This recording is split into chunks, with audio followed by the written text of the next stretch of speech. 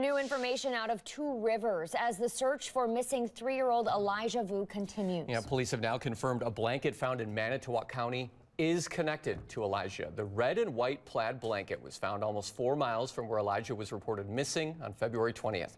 Police remind people the reward for information to help find him is now up to $40,000. Tips can be submitted to Two Rivers Police and Manitowoc County Crime Stoppers. Family says more volunteer searchers are planned for tomorrow and Wednesday.